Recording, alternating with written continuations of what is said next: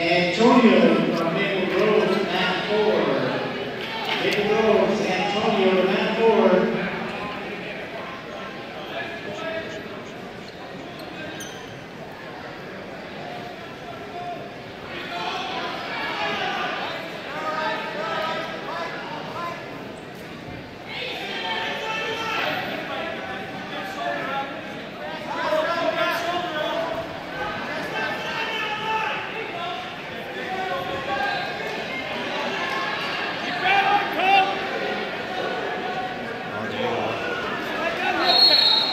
Down, down.